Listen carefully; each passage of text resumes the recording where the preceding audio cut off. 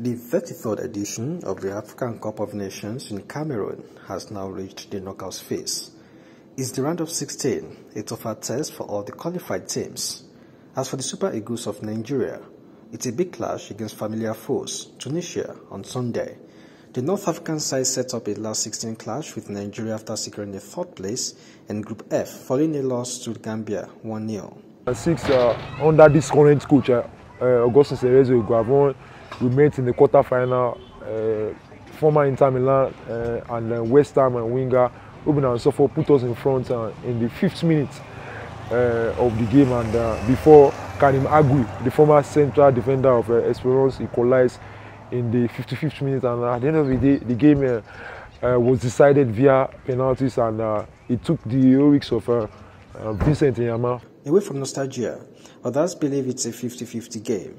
They've only won one game and lost two games, so they will want to pick up the pace. If not, this is the end of the road for them. So I'm expecting a very tough encounter, but the Super Eagles have been showing some beautiful football. A lot of people on, on, on, on Nigerian spaces are saying it's Tunisia will popo them, beat them all the way to the ground. But left to me out, I, I really believe that the players and the technical crew are focused on this and not get, getting carried away by um, nine points out of a possible nine.